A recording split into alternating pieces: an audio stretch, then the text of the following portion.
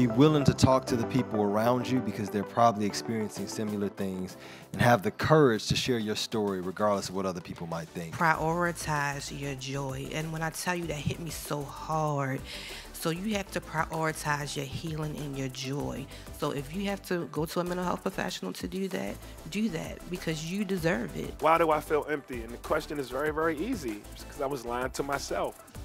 I wasn't I wasn't being the person who I deserve to be for myself, for my family, and for all of the people who invested in me and in my career. People tell you that old people die.